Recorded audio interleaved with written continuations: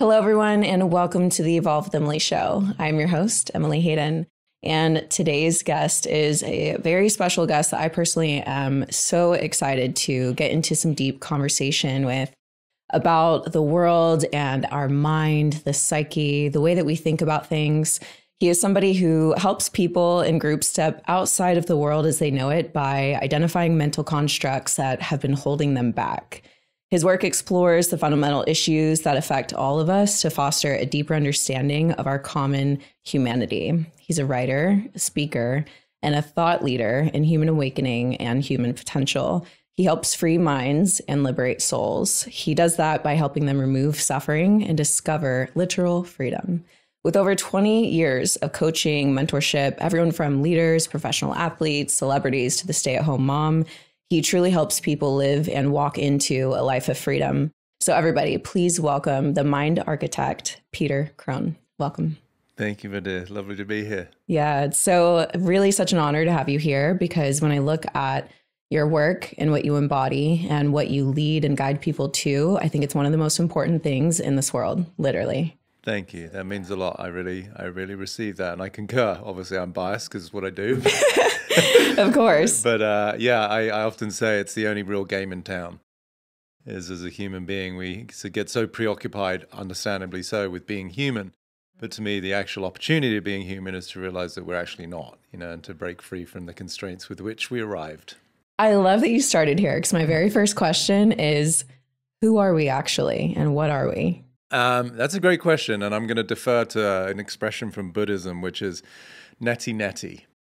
And what that means is not this, not that. So it's sort of we get to who we are by realizing who we're not. It's sort of the conundrum of being consciousness itself, but not knowing that we're consciousness, right? We can only be aware of that which we see or that we feel and relate to. So, like, take thoughts. People think that they are the conversation in their head. It's the most insidious part of us because it's the closest. You're in your shower, you're in your car, you sit down at your desk, you go to bed at night, and you hear this incessant conversation and you think that's you. But if you just understand it logically, you can't be that which you're aware of, right?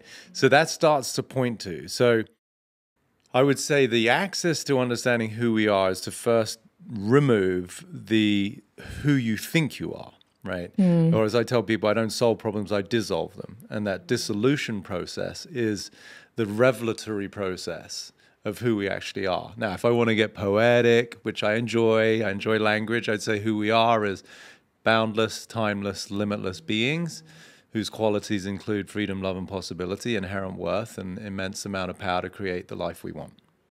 Incredible. I love hearing you speak and express yourself because it's literal music to my ears and to my heart because it is what I feel so deeply. I resonate with it. And when I hear it, I feel so, I feel so, I think just deeply grounded in truth. And I know that it's truth. And I think that our soul, when we take the moment to really connect with it, we recognize truth. Yeah. It's actually not hard to know. And it's easy when you connect with that to then, like you're mentioning, see the opposite of everything that is not truth. What do you think creates a disconnection in people's ability to see clearly? Wow, great question. I first want to acknowledge the, the prelude to that, which is really beautiful. I mean, obviously, we haven't met before, but there's a there's a remembering, right? You know, one the sort of the real in interpretation of namaste. You know, the soul in me recognizes the soul in you. So I just want to speak to that. So thank you. Thank you. Um, it really is why I'm so passionate about what I do because the number of times that I have heard somebody of, of great, you know, experience, age, uh, they've studied a ton of things, say to me, you know what, you're saying something that I've kind of heard before, but for some reason, the way you say it, I just got it, which is super humbling and flattering. But I don't know to what degree. Obviously, there's a certain combination of words that I use, but I would also assert it's the underlying energy with which they come. So I would assert because I'm speaking from that space that it awakens or the frequency resonates with the essence of who you are. So thank you for that. Um, would you just repeat? So I want to really speak to the question, the, the last part of the question. What do you think creates a lack of clarity and people's ability to see truth clearly? Like some people can look at it in the eyes and not know that it's true. Yes. What do you think is creating such a disconnection? So, in lay terms, in a very simple way of responding, that what we would call the ego, the identity, one's personality, which is really the facade. It's the ambassador, albeit a lousy reflection of the person that we're trying to be, right? It's the little child that's wanting to garner love and acceptance. So it becomes the obstacle. The the you that you are for yourself is the impediment to the you that you actually want to become.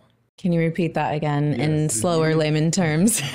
the you that you are for yourself mm-hmm. is in fact the impediment to the real you that you wish to become.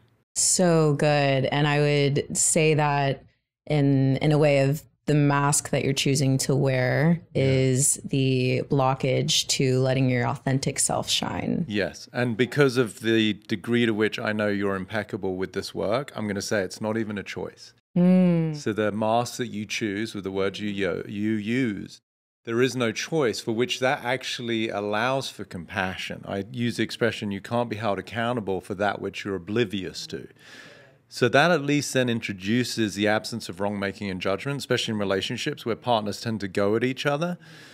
But we only know what we know, and we can only function from within the degree of awareness that we have within that knowing, right? And so that to me, at least it allows for our humanity, which would be a gift for many people because there's so much judgment, predominantly at ourselves. So to go back to your question, it's that where we are it's so insidious and it's so slippery, but we are so misidentified with the thoughts, our brain, and this meat suit, as though this is who I am. And the way that we use words, I'm a particular age, I'm a particular height, I'm a particular nationality. When we say the I am statement, whatever follows that becomes where we are now located in time and space. Mm. But if someone, for example, says, I am overweight, there's a very simple thing in the world of exercise and fitness, which you've inspired so many it's a it's a disservice to the essence of who you are. Who you are is a boundless, timeless being who's founded in the principles and qualities of love, freedom, and possibility. But because you've misidentified with the narrative, which is this linguistic fortress based on the experiences you had, invariably in childhood, but actually it goes further back than that, you have created an experience of suffering because you become misidentified with your true essence, meaning you feel separate. When we're separate, we have no choice but to survive. In the state of survival, you do anything you can to mitigate suffering, try and find pleasure, and these are the substances that people use. And in this case, the person finds food as a way to mitigate the dissatisfaction, the lack of nurturance that they have because they're living in an identity that is based in inadequacy, insecurity, and scarcity. So they are not overweight, they are pure absolute possibility, looking through a lens of limitation that creates suffering that leads to relief in food. That's an entirely different way of categorizing somebody's weight problems. Absolutely. And I think it helps to create that separation from something that they're experiencing and what they actually are, who right. and what they are. So we experience suffering in so many different ways. It mm-hmm. can express in relationship and the way that we view ourselves and the mm-hmm. real experiences that we've had in this life. What do you think is the root of suffering, and why is it that we're addicted to our own suffering? Great question. So the root it goes back to what I was sort of saying there and alluding to is the illusion of separation. Mm-hmm. That there's a me here, there's a you there. Now, of course, in the manifest world of the 3D reality that we all experience, of course, I mm-hmm. can't quote unquote come from your perspective. I can't feel what you're feeling and vice versa. But as it relates to the actual essence of who we are, there is no separation. But the actual format, the structure of the identity, the personality, is by design a separate entity. Mm. As long as we look through that, then I write in quotes, you may have heard me use a lot of them, but I say, as long as you think that you're a separate individual, then you have no choice but to survive. Mm, wow. Right. So if you really get that, what most people don't understand people talk about things like purpose all the time, especially in these circles of spirituality and self improvement, which is beautiful, dharma, whatever you want to call it. But people are like, what's my purpose? And if people really understood their purpose, like as it is, not as an aspiration, mm. but who they are in the way that they choose unconsciously purpose, it's normally to make it, to survive. Mm. And if you're in that state, like certainly emotionally, psychologically, but then it cascades into our physiology. So you're in sympathetic fight or flight, mm-hmm. which is why people get sick, by the mm-hmm. way. then you have no choice but to suffer. Right? So that's why people suffer, is because you're misidentified with this being, or no, it's not the being, sorry, the human part of the human being. The being I would associate with the soul. But thinking you are the human with the conversations and narratives, the inadequacies that we all become misidentified with, that is a unavoidable state of suffering because you're in conflict with your true nature. Hmm. See, the I am statement that I referred to is a very powerful foundation upon which to create. I am, fill in the blank, committed to whatever it is, right? Mm-hmm. What suffering is founded in is in what I call a negation of self. So if I'm asserting, and again, it's just Peter Crone's opinion, that who you are is a timeless, boundless being whose qualities, etc., etc., ironically, all the things the ego wants, we already are. Yeah, so Just good. get that first. Hmm. But if I'm saying I'm not something, but I am everything, then it's in complete conflict with my truth. Hmm. Right? So that not statement is resistance, which mm-hmm. creates suffering. Hmm. So that's the first part of your question. Is that mm. I am in denial of the essence of who I really am, my infinite self, and I've become misidentified with a constrained view. Mm. As I tell people, you can't see the infinite through the lens of the finite. Mm. That's hell that lives ironically inside of heaven. Oh my goodness. Yeah, that's a big one, right? That's a good one. So, so, so, but I want to get to the second part of your question. So that's because people think they're out, out like this, right? Hell's here, usually up. Heaven, uh, hell's down, sorry, heaven's up. No, no, no, no. Heaven is so vast. That is love. Mm. Hell is an aspect of it. Mm. But when you're in hell, you don't know that you're also in heaven. Wow. I know it's a powerful visual, isn't it? Mm-hmm. So, anyway, to the second part of why do people sort of sustain, perpetuate, and want to be right about their suffering is because the imperative, the absolute imperative of the ego is to be right about its own existence. It has to be because it's fictitious. So, this is what self sabotage is. Hmm. I'll prove to you that I can fuck up, fill in the blank. Whatever I'm actually really like craving for, beautiful That's love so and relationship. Interesting Isn't it insane? how we sabotage the thing that we want the most. Yeah, because in that case, what you recognize is what we really want, or that aspect of us, the hell version of us, mm-hmm. what it really wants is to sustain its existence. That's the survival component because of the ultimate fear, which is death. Mm. But here's the rub the greatest thing that can ever happen to you is dying. Why? Because then you become truly alive. Because I'm talking about the death of the idea of yourself So good. because you, the essence of who you are, don't die. Life doesn't die. We are born and then, you know, we quote unquote die in terms of the physicality, but life sustains, right? Mm. So the the death of the idea of yourself is actually the birth of the true essence of yourself. Oh my gosh, so good. I want to speak to people that struggle with the thought of ending their life. That Yeah. the message that they're getting in their head is that I Yeah. need to end. Yes. What do you feel that message that they're getting is really communicating? What does that message really mean when they're feeling that? I mean, I can right now feel like pins and needles is the term mm. we use, like hairs on the back of my neck standing up because, mm. And I hope people really hear what I'm saying. This is one of my favorite topics to speak to. Mm. As devastating as it is, I've helped so many people understand what is so misunderstood. Mm-hmm. Suicidal ideation, the I that is the conversation of I want to end my life, it's all pointless, is one of the most poignant times in a human being's existence. Wow. Why? Like I, I literally got called by it doesn't really matter who, but a big recording artist in the UK who I used to help. And he said one of my friends was a big fashion designer, his business went under, and he is currently drinking himself to death. And we think tomorrow is going to be his last day. Because he, uh, in his mind, had lost everything. I didn't know this guy from a hole in the ground. And they said, You're the only person we know who could probably stop that. So they gave me his number. We did a WhatsApp conversation. I could feel the resistance. He didn't want to hear another person telling him all the things he already knows. But you're amazing. You've got so much to live for. Look what you, Totally. all the bullshit, right? And so I didn't. I said, Liz, first of all, I want to meet him there, right? When everyone's in that state, we want to have the compassion. We want to have the empathy. We want to listen and get their reality. That's true for mm. them. Mm-hmm. But I said to him, if you're interested, I'd like to tell you why this is one of the most powerful times of your life. That piqued his interest. Yeah. So then he got on a call And so I will share with you what I shared with him, which is to answer your question. The part of the human being, and we've all probably been there. I know I have. I was orphaned Yeah. at a young age, both parents dying. Like, what was the point of me mm. staying alive at that mm. point? Wow. Um, so that I that says it's worthless for me to be here, I'm mm-hmm. worthless, I want to die. Mm-hmm. The essence of who you are, first of all, never dies. Mm. You can't die, and you don't want to die. But there is a part of you that is asking to die. Mm-hmm. That's entirely different because the way this gentleman described himself, he said, I'm, I'm a useless, washed up fag, no one cares. Hmm. And I said, but that's not a truth, that's a conversation. That's how you perceive yourself. It's not an absolute truth in the universe. About the only truth that I'm still grappling with a bit is gravity. I love that. I say grappling because I'm still look, yeah, I'm still looking to overcome it at some point. wow. Yeah. That's awesome. But everything else is truly a conversation. Hmm. So when I asked him, is it an absolute truth in his words that he's just a washed up fag that no one can?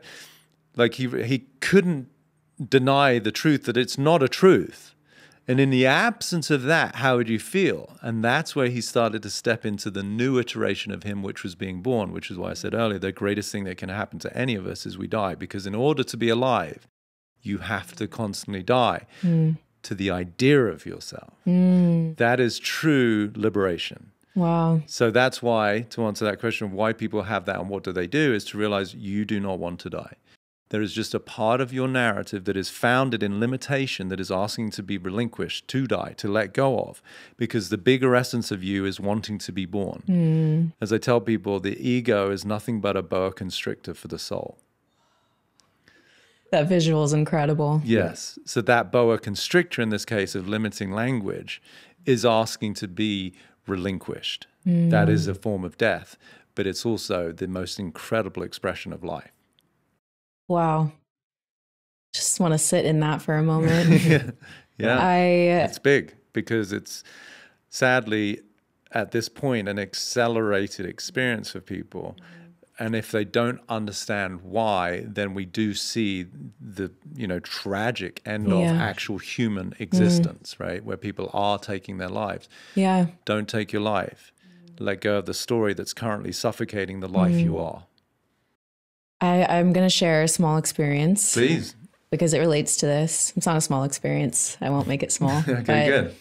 I often say that reaching what felt like to me was my deathbed was mm-hmm. the most transformative experience of my life. Yeah. Because for me, it didn't come from a place of self harm. It was, I wanted the pain to end. Yeah. And I didn't see a life without my pain. I couldn't see it. Mm-hmm. But the guiding questions that helped me to choose to stay were number one, am I proud of the year that I just lived?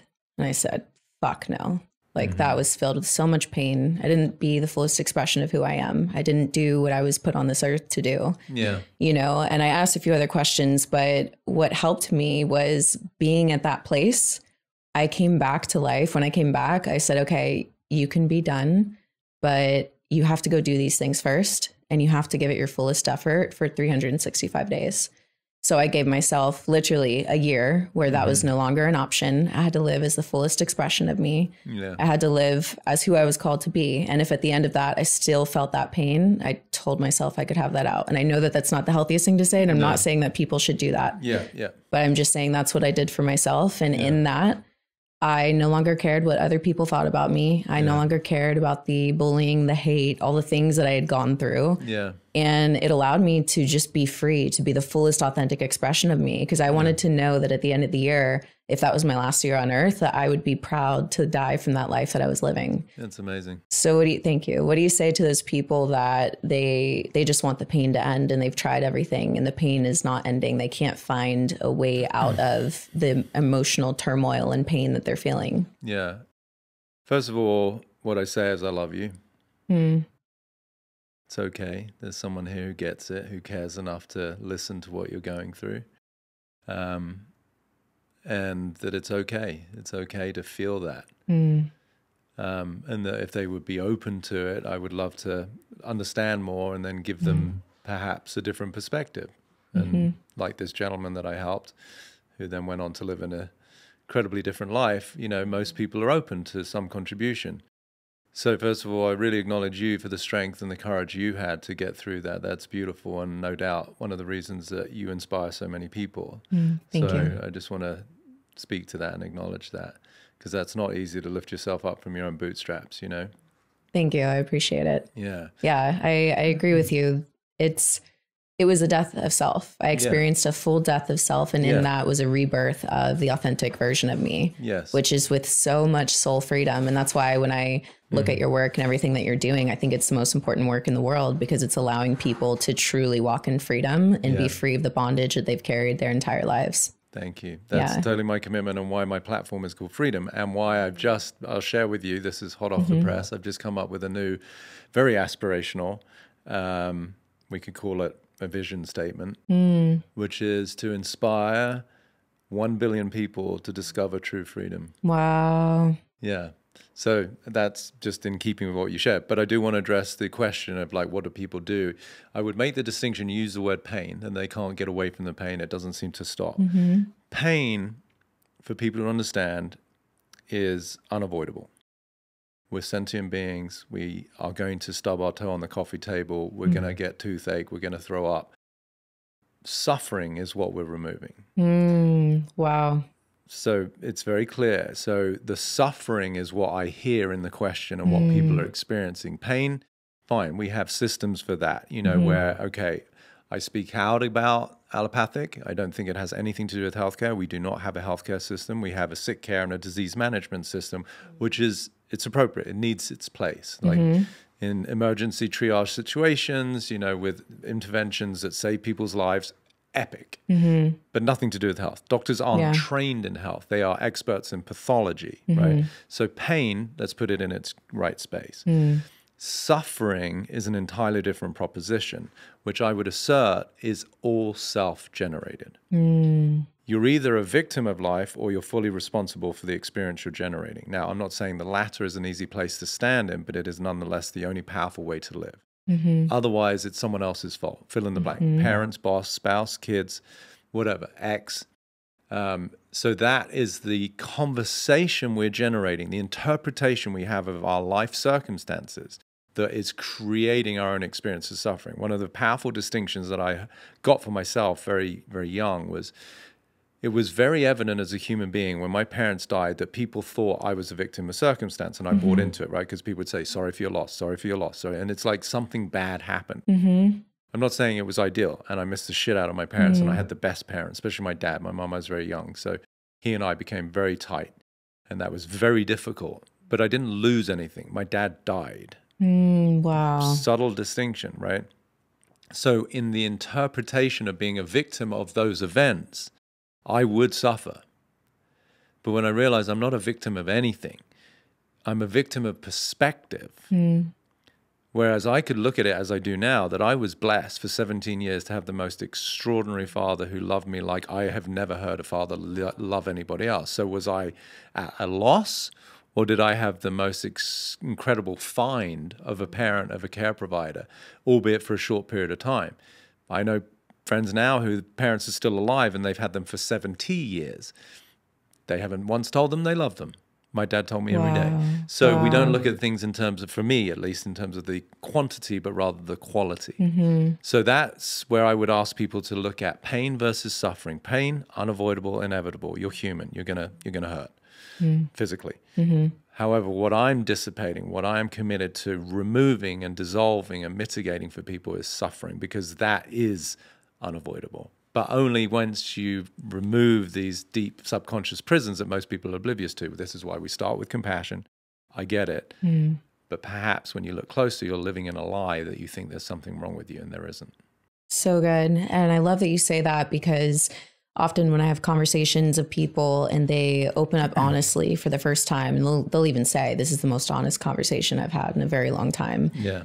And I have the opportunity to tell them it's okay to feel that way and yeah. you're not wrong. And I feel that we have this idea in our minds that we are the only ones that are suffering with this thing or mm-hmm. that there's mm-hmm. something wrong or broken about us because we struggle with this you know, whether it's a habit or uh, something in our lives that's bringing us pain. Yeah. And so, what about, you know, this idea that they're the only ones suffering in that way or they're alone in their suffering? Yeah, I get it. And, you know, it's, I think it's a default setting again of the ego because we want to justify our experience all the time, Mhm. right? We rac- we rationalize things away, like, oh, well, this was too good to be true because, and we we can explain ourselves into any kind of woe. So I think the more conversations like this happen, the more that people can get involved in communities where there is a mm. safe space, which isn't always mm-hmm. easy to find. This again is why I've created Freedom because already the people in there are like, I've never felt so seen, so heard, so held, mm. and I can say anything, and all I hear is love and acceptance, Wow. right? Where most people don't get that. Mm. So. So I get it, but it's a little bit of the self-fulfilling prophecy of the ego to justify its own woe. Is that if I'm the only one going through this, mm. then I can justify sitting and wallowing in my own suffering, right? When you start to realize, oh, hang on a minute, even if by virtue of, you know, misery loves company, when you understand that some other people have been through the same thing, are going through the same thing, it's like, oh, perhaps I'm not such a freak and there's nothing wrong with me, you know. So it is hard, but I think that's where it's important to, if you can, find a safe space. You know, we mm-hmm. don't toss pearls before swine, as the expression, right? You know, and that's hard. I mean, I, I've had clients. I mean, one I remember distinctly. She was crying, and I was like, "What's going on?" She said, "I, I've never felt." loved like the way you're loving me because there mm. was always something I was doing wrong or there was always something wrong with me and you aren't judging me for anything. Hmm.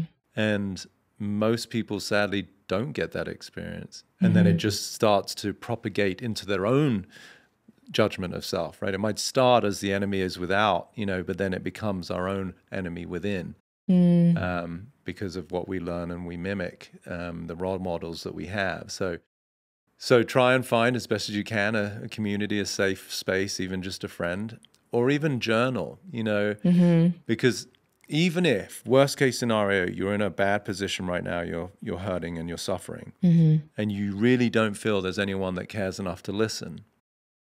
The fact that somebody can hurt that much shows me that they care that much. Mm. And if they care that much, what they can do is write down their story on a piece of paper, leave it for a day or two, come back and read it as though it's one of your friends or a child that you care about. Wow. And then what energy would you bring to that person is the energy that you're asking for.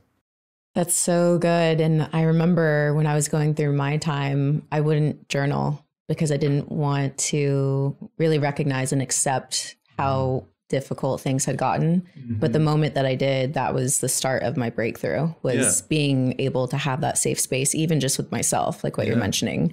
You mentioned freedom a few times. What is freedom As a word or as my platform? as your platform? oh, yes, my platform. but sure, we could go deep yeah, too sure, if you want. Like, that's got a pretty vast description and quote. But um, yes, as as this membership platform I created, it's been something that I have quietly, consciously, unconsciously been creating in the background for years. Because I realized when you look at the world today, because of the way that people are conditioned, programmed, and the way that we all live from this place of limitation, mm-hmm. fear, and suffering, really mm-hmm. that's the default kind of operating system of a human being. And then we have all of our ways of mitigating that and coping and sort of adapting, and we become people pleasers, perfectionists, and whatever. Mm-hmm.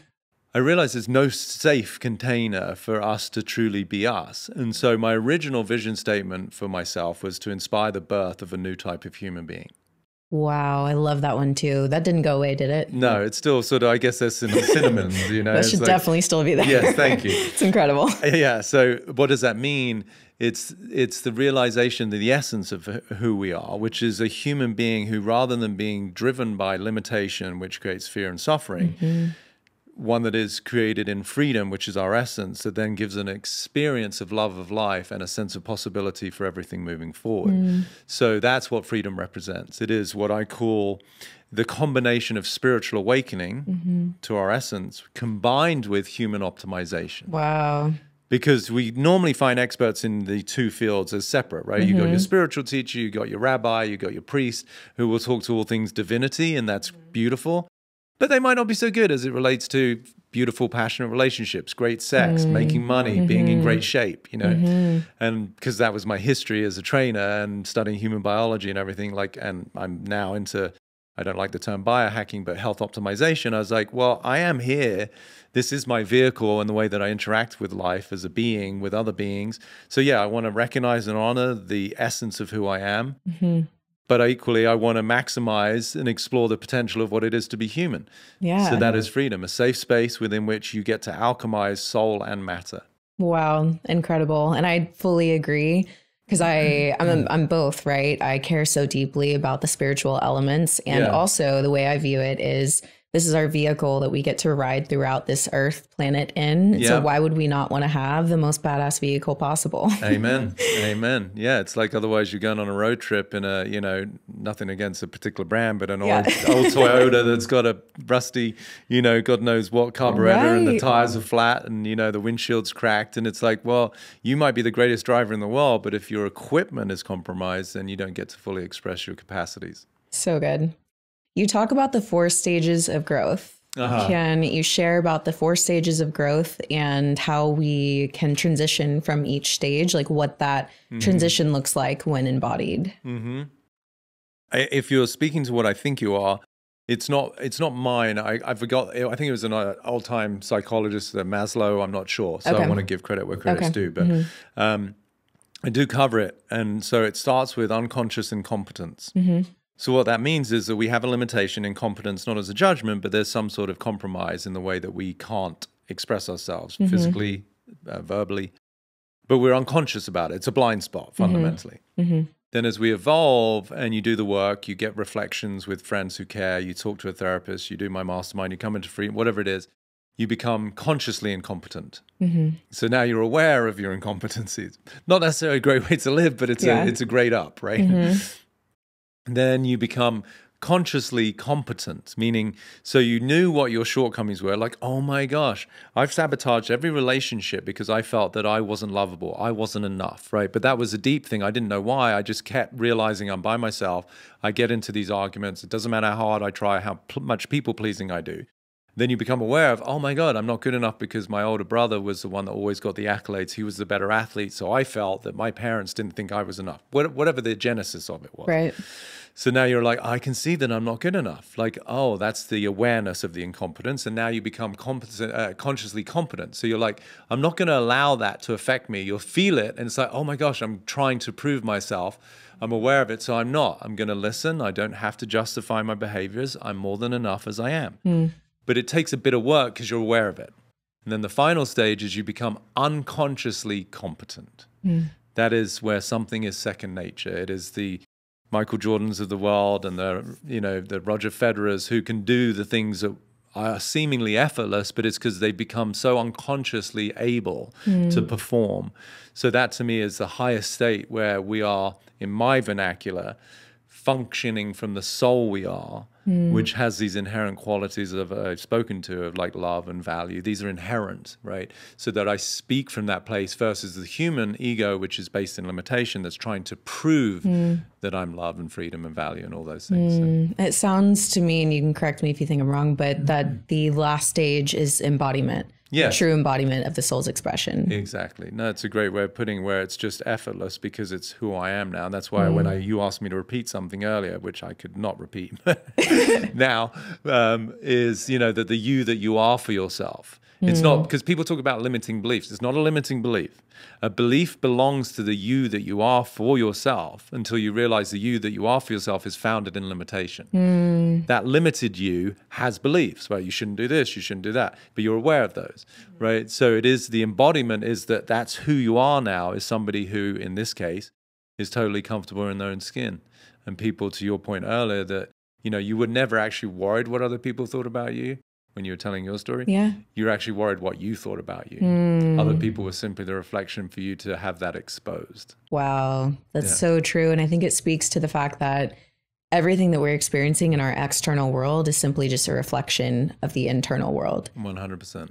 What are some ways that you have found to navigate that internal world to become aware of what's happening internally? Maybe daily practices or healing modalities? What are things that you've done to raise that awareness to the internal world? Sure. I mean, my immediate answer might sound flippant is just live life. just live life because you're going to get triggered as fuck. You know? Yeah, it's true. So, you know, one of my more popular quotes that gets you know circulated kindly by people on Instagram or wherever is that life will present you with people and circumstances to reveal where you're not free. Mm, wow. So that's the game that I said at the beginning. This, to me, it's the only game in town. Is like we're here to emancipate ourselves from the constraints with which we arrive. That's why freedom is my main product. You know, mm-hmm. you're not here to amass money, the sexy partner, the followers, the mm-hmm. big home. That's fun in the human domain.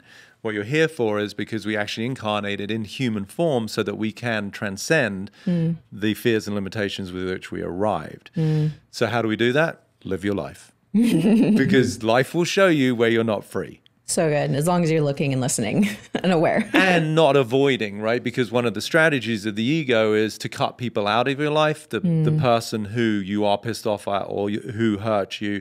And I'm not saying that for sure if there's an abusive relationship that you suddenly become like best friends and invite them over for Thanksgiving. Right. You know, there are times and places where it's appropriate to obviously choose self first and then realize that maybe that person isn't a healthy individual to have around you.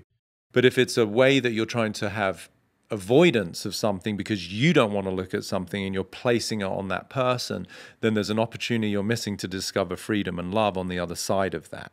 So, really, um, yes, they are the tools, techniques that I have, which is as they say so often, fuck around, find out. I love it. I love it so much. It's yeah. funny because that year that I spent, that was my theme of the year was, mm. you know what? I'm tired of living in fear. I'm going to yeah. fuck around and find out. And I give yeah. myself full permission to do that. It's the old, uh, again, not my quote. It's a great one, but like playing it safe is the riskiest way to live. Wow, so good. Yeah, so okay. get out there and you know, and again, with all due respect, you know, mm-hmm. you don't want to mm-hmm. put yourself like there's the masochists of the world who want to face pain. That's a whole nother expression of the ego. yeah. um, but you know, to really just you know to not be scared to face the things that are discomforting because again, those arenas where we, in the sort of popular term now, get triggered, you know, in lay terms, where you just get upset, you feel a potential threat. Mm-hmm. There's an opportunity to recognize where you are still not seeing how extraordinary you are, right? Wow. That's, that's, your, the lie is that I can't be with what's going on. Mm. You know, mm. outside of obviously real dangers and physical threats. Uh, again, my quote is say, you know, if it's not life threatening, it's just ego threatening. That's good. And that's a good thing to be threatened because you want to let go of that. Mm-hmm. You have a quote that I would love for you to expand on. Okay. It says, I have an intimate relationship with reality. Yeah. What does that mean to you? That's a great. Uh, no one's ever asked me about that one. I thought it was going to be one of the others. But um, so what that means is presence in a one word. Mm. Intimacy to me is a misunderstood word, and at least the way that I delineate it, it's an energetic expression, right? Mm-hmm. Into me see, intimacy, meaning be with, to really be with somebody. Most people mm-hmm. don't experience intimacy. They can have sex, they collapse mm-hmm. it with physicality, but let's face it, especially with all due respect to guys out there, most women don't experience intimacy. They mm. experience pump action, very much physical action. Um, intimacy is where I have an intimate relationship with reality, is my way of saying I'm fully present with what is. Mm. I want to honor the way life is. Most people are trying to get to the way life isn't. As I tell people, you know, most people are trying to get to a life that they don't have, right? Or trying to be somewhere they're not. And that's why they suffer. Conversely, if I can be fully where I am, fully with you right now, mm. with no other attention to anything else, mm there's no greater gift I can give myself and you because mm-hmm. that's full attention. Mm. That's intimacy.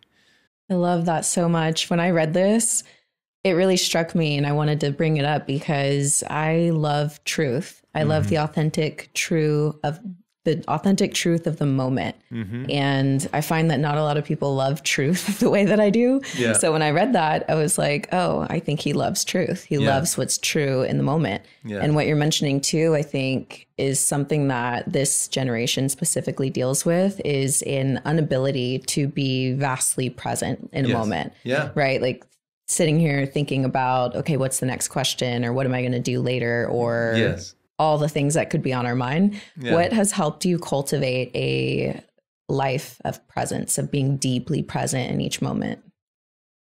By first of all seeing where I wasn't, where I wasn't present, Mm.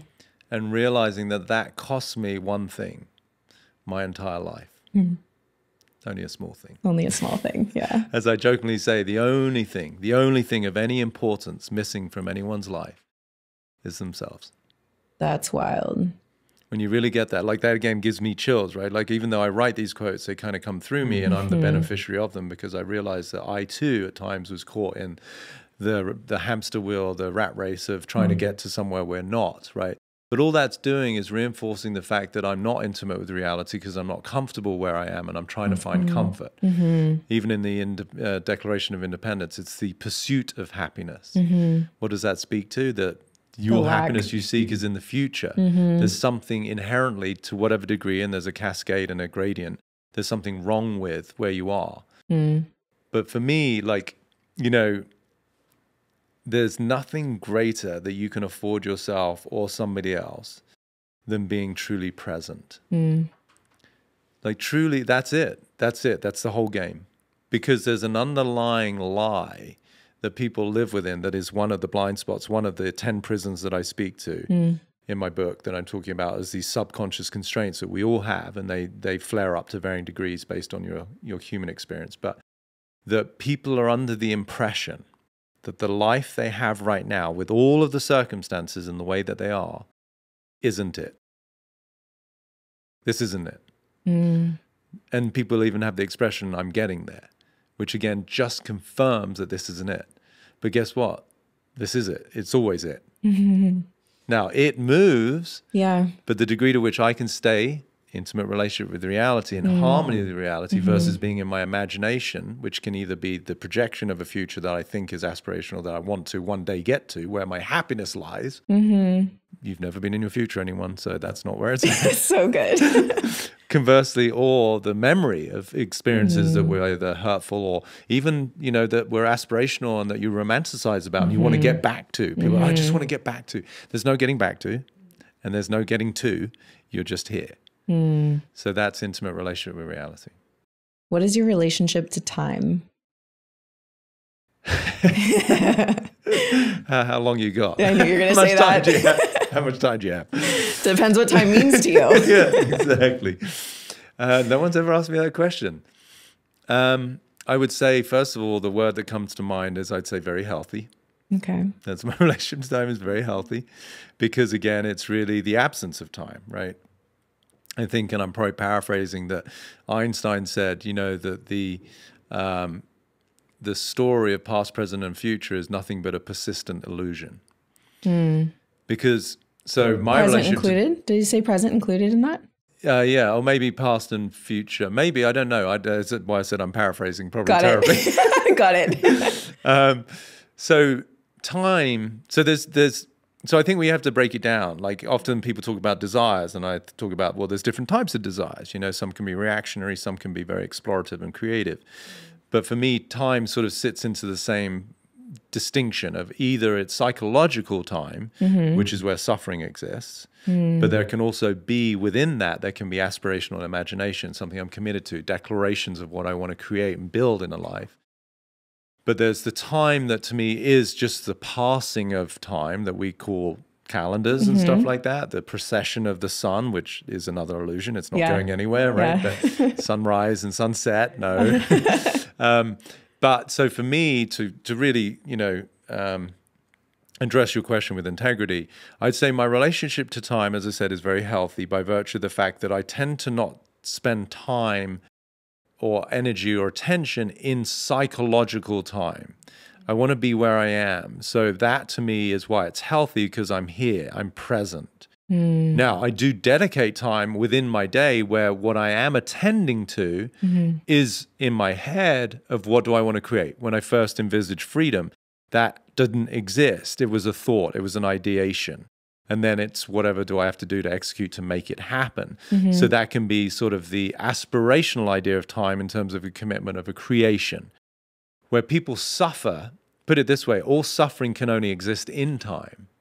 Mm. There's no actual suffering here because if you have the intimate relationship with reality, there is no suffering because it's choosing life as it is. Mm. It's profound acceptance for what's so. Suffering is, but I don't want it that way. Well, now mm -hmm. you're in your head and you're resisting life. Wow. So that's why, again, healthy is both as a way of being with life. It's healthy, but it's also healthy because I'm not in a state of fight or flight, which is resistance, mm-hmm. which is why mm-hmm. people have sickness because they're in a state of dis-ease. What is disease? It is dis-ease, the absence of ease. I'm not at peace with the way things mm, are. So good. Yeah. Want to ask about loneliness. Yeah. Because often you've shared how people what they're really missing is like this deeper essence of who they are. Yeah. So to the people that are at home and they're listening to this on the weekend and they're feeling loneliness even right now. Yeah. What could you sh- say to help shift their perspective on experiencing loneliness? My first response would be the same as the last one, which is it's okay, I love you. Mm. I I get it. Mm-hmm. I really mm-hmm. get what it's like to be lonely. And at a level that most people don't, because mine was visceral, mine was literal. When my dad died, I was an only child. My mum had already died. So loneliness for me at that time as an experience, we could argue no one would begrudge me, was literal. Mm. Um, so I get it in ways that most people fortunately don't have to, right? Because mm-hmm. they might still have a parent who's alive, they might have a sibling, they might have a spouse, they might have a kid. So I was, quote unquote, the only me as it relates to biological family. Wow. So I get it. So, first of all, as I said, mm-hmm. I'm, I'm with you. Mm-hmm. The opportunity with the experience of loneliness is to realize the difference between the experience of loneliness and the actuality of loneliness. The experience of loneliness is asking for what? companionship, mm. to be mm. seen, to be held, to be heard. The opportunity, therefore, is for the essence of who we are to make space for the human experience of loneliness. Loneliness wants companionship, and we often misidentify that with someone else. Mm-hmm. People might say, join your church group, go to a yoga class, go and join bingo, go to somewhere community is involved. That can help offset the feeling of experience, but it doesn't actually mitigate the actual genesis of loneliness. It's like no different than someone who has to have a drink to find relief from stress, or they smoke weed, or whatever they do to try and mitigate suffering. You're not actually dealing with the root cause. So, the way to actually truly, once and for all, embrace, embody loneliness is to recognize it is part, an intrinsic part of the human experience. What it's asking for is companionship, not from someone else, but from the essence of who you are, which is the practice of love. Loneliness is an opportunity to practice love, which is making space for the part of you that feels lonely. How do you tangibly do that? Be with the loneliness. Mm. Feel it. Let it be there. Mm. It's okay. And it might, what does it look like? You might lie in the bed and cry. You might sit quietly on a couch or a futon or whatever you're doing and go, it's okay. I am human at one level. And the part of me as human, one facet of that is to, by default, feel lonely, to feel separate but the essence of who I am, which is connected to the collective, that can it's impossible to be lonely, mm. is broad enough, big enough, and vast enough to hold space for this little human clod that I've become hmm. misidentified mm. with, which is just asking to be held. It's okay. Mm. The irony there is that when I really identify with that essence of me, the being, the soul, and make space for the human that feels fragile, vulnerable, and lonely, then what happens in real life is I tend to be a beacon and I'm mm. Probably then going to ask, leave me alone. I want to be alone. totally. Everybody is suddenly falling in love with me because right. I'm expressing the so energy true. that everybody wants. So enjoy the loneliness while it lasts. That's so good. Spoken from somebody who's been down that path. Yes, and, and with all due respect, I love all the affection and attention. and times I get stopped, but sometimes I also really want to be alone. Of course, so, yeah. yeah. and enjoy being able to be in the shadows. And be yeah, quiet. I feel that. I have a few questions Please. from uh, some personal friends. Oh, okay, great. That I promised to ask. Yeah, good. So the first one, Peter, you often speak about the concept of not being enough as a common limiting belief among people. In your view, what are the first steps someone can take to start unraveling this belief and to begin seeing themselves in a new light? Great question. Thank you, friend, whoever that was. Her name's Nikki. Nikki. Hi, Nikki. Um, so um, there are no steps. and there's just the revelation, the realization that the I'm not good enough, I'm not enough. We want to ask where does it reside and what is its form?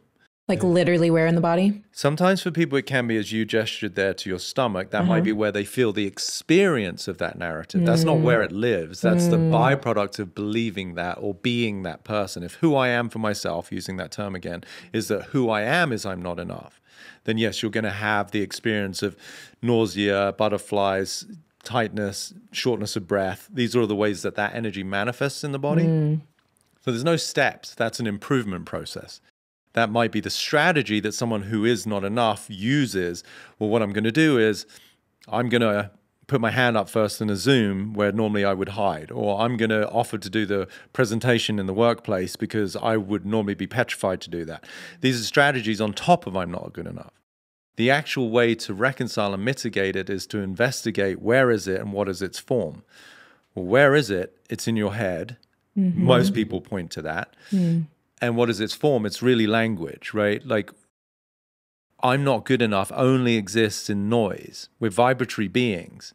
It's hmm. literally a sound. Hmm. And when you really get it to that degree, to that level of breaking it down and unpacking it, you can't help but laugh and realize that you're being stopped by sound. Wow. And so we could emit a different sound. You can say whatever you want.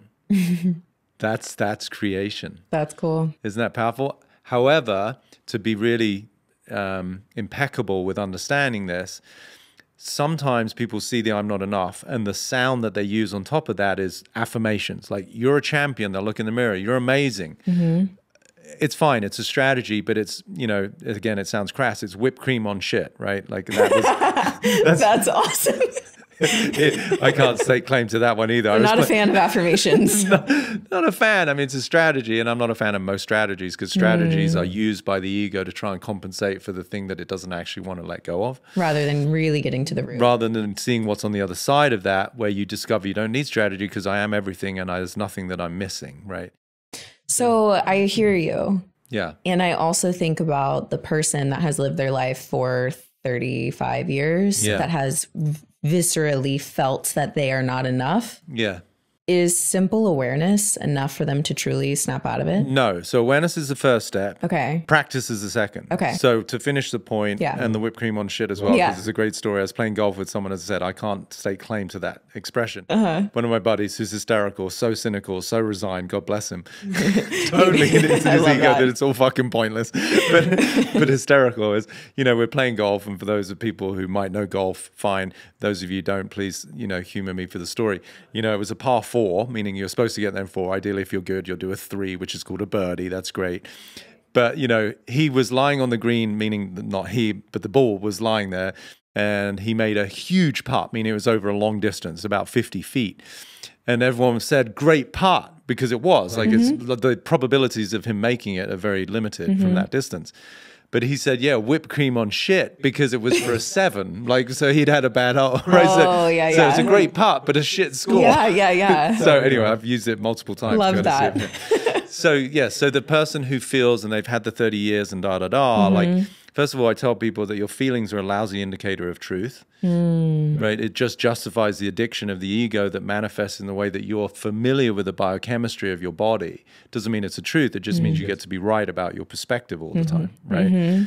So the I'm not enough, yes, awareness isn't quite enough, depending on the profundity of how somebody sees that. If it's something that is so categorically clear, you're like, oh my God, I've believed that, I've been that for 30 years, and the degree to which they've suffered because of that mm-hmm. can be often mitigated immediately by the relief of seeing it's not a truth, and they never go back. Sometimes oftentimes the practice part, which is the second component, mm-hmm. is that now you get to be the person, the birth of a new iteration of yourself on the other side of the lie, which takes practice. So you get to now consciously, competently be somebody who's, and this is the, if there was an IP to my work, it's what I call the double negation, which is the not not good enough. It's not the you are good enough, and friends will say, "Oh, but you're amazing," and no, that doesn't help. We want to see the lie. The lie is that you're not enough. What would be the truth about that? You're not not enough. Mm. So in the dissolution, the removal, you get to experience something innately. It's mm-hmm. like in the absence of feeling you're not enough, how would you feel? Most people don't normally say, I'd feel enough. They feel, I feel free. I feel relaxed. I feel at peace. Great. Be that person in the world. That's the practice, That's really something different. isn't it? Yeah, That's it's what a I do in my approach. whole mastermind. Like that, my whole three month mastermind is committed to teaching people this double negation by showing through all the knots that people have not good enough, not loved, Mm. not valued. There's 10 predominant ones, as I said, that I speak to.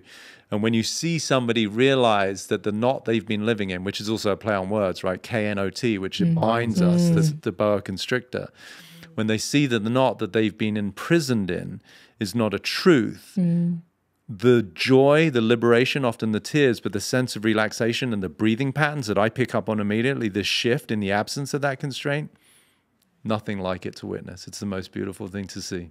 I see why you're called the mind architect. That's really incredible. Thank you. Such an incredible answer. Yeah. The next one that I'll ask is in a dynamic where one partner is at a certain stage in their own journey and the other partner hasn't started their journey, their spiritual growth, their mm-hmm. personal development and awakening, so to Yeah. speak.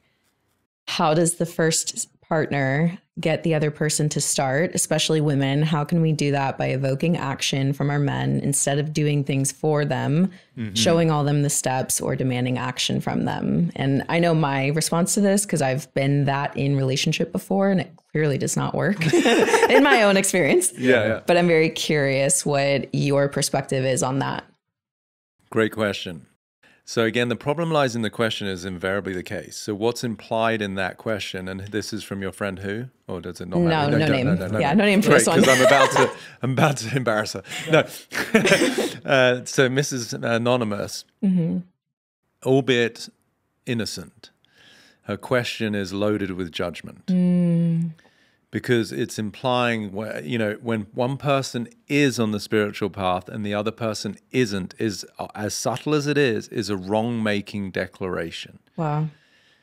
because you could say that a butterfly that goes past a chrysalis says well, what the fuck is wrong with that guy I love that so much. I don't know if you know my logo's a butterfly. oh no well there you go It is. So I just relate. yeah but that's what's happening right So this good. person is i'm the butterfly i'm flying and that fucker's just hanging around on a branch So good. But what they are negating and not aware of is that the spiritual path is happening. Hmm. So much of spiritual go- growth is unseen. Hmm. Right? The amount of transformation and literal metamorphosis that is occurring within that confined space, mm-hmm. Albeit oblivious and that is blind to the naked eye, is nonetheless, they're on the spiritual path. So for your friend, consider this no one, no one is not on the spiritual path. Now, what that would breed in her is ironically her spiritual path, which is what? Compassion, mm-hmm. acceptance, mm. both of which fit under the auspices of love. That doesn't mean that the partner she's with is the best or right partner, but at least get rid of the judgment. Hmm. Because if you want to be on the spiritual path, what I hear is somebody who's resisting the spiritual path, which is to step closer to love. Hmm. Here's what happens when that person can stop making the other person wrong for their illusion of not being on the spiritual path, mm-hmm. that's totally their perspective, which is the confinement, and they step into the love and acceptance of that human being. It is the energy of nurturance that ironically would pull that person a little bit more expeditiously out of the constraint that they mm. see. Mm. So the judgment that they're feeling towards that person is equally the contributing energy to that person in their eyes not going anywhere. Mm. It's so subtle, but it's so mm-hmm. powerful. Yeah. If I can be a stand for that person's greatness, not because I want them to become someone, but because I accept them for who they are, then it is actually an invitation for them to become a better version of themselves. So I would invite that person to consider at a much subtler level. One, see the judgment. It's okay, you're human. But there will be, at a very deep level that's not pretty to look at, mm-hmm. some payoff she gets mm. by making her partner wrong. Mm. Wow. She gets to be slightly bigger, slightly better. Mm. Now, I know as a generalization, yes, I would assert that women are far more evolved than men just by the incarnation of being feminine, more in touch, more in tune, more intuitive. Yes. But because of that asset and that skill, I could also say it's more incumbent upon you to step into unconditional love more readily than the male. Mm. The male can provide safety for sure, and then sadly in this world for freaking centuries, women have every reason not to trust men because of the abuse and harm that's actually happened, which is devastating. And I apologize on behalf of men, but now hopefully men can start to grow up, provide a space that is committed, that is really at least remove harm. If you can't fully commit, please stop abusing, whether it's emotionally or certainly physically. But the invitation for the women as relates to relationships, the safety they can provide is to allow the man to express himself. Mm-hmm. What happens oftentimes is a woman doesn't feel safe is more a physical domain of safety. But what women don't realize is in their power, in their intelligence, in their greater evolved state, they often don't provide the safety for a man to speak his truth or his feelings or his vulnerability without being attacked. Mm. The reactions, the drama that men speak of, and why women complain that men don't express their feelings. Well, my invitation is to what degree are you a safe space to speak into? So good. What is love to you? Everything that we've just discussed. um, yeah, love. Um, gosh, it's one of my favorite topics. And love is our true essence. Um, love is the allowance of everybody to be who they are, where they're at. Mm. Um, yeah, love is the expression of the divine in me that sees the divine in you, mm-hmm. and it mm-hmm. love is often the absence of something, right? Love is the absence of judgment, the absence of, ju- of criticism, the absence of making somebody wrong. It's it's having an intimate relationship with reality. So good. I think this is a really beautiful place to end today's show. So, Peter, thank you so much. That was really incredible. I feel so honored to have been a part of this discussion and to be able to bring it to my audience. I know it's going to help so many. And. I know, you know, there's a lot about social media that is not great, but I think one yeah, thing yeah. that is really wonderful is access to minds and thoughts and expressions mm-hmm. such as what we've had here today. So thank you so much for your time on today's show. Thank you. It's really, I mean, it's beautiful. Again, for somebody I've never met, I really just am present to the joy of being with you, you know, mm-hmm. in your presence and how much you care and, and, mm thank you for having me on and listening and having such beautiful questions. So I hope this touches people mm, out there. Me too. Thank you. I received that fully. Well, you guys have probably just had your minds blown, as have I. Thank you guys so much for tuning in. If you enjoyed today's episode, please do us a favor and you can tag us on your stories when you post it to Instagram. Uh, shoot it to a friend if you think somebody would need to hear something from today's show. And don't forget to rate and review the show on Apple Podcasts. That's the way that the show grows. Or if you're watching on YouTube, then hi, what's up? Hello. Give us a subscribe, a like, whatever you feel like. Just give the show a little bit of love if you enjoyed this and received something from this today. Thank you guys so much for listening to another episode, and I'll see you in the next one. Bye, everyone.